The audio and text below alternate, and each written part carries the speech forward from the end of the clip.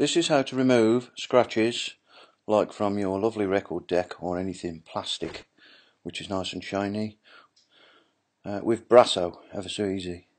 Look at them scratches, you wouldn't think you'd get them out. Look at that.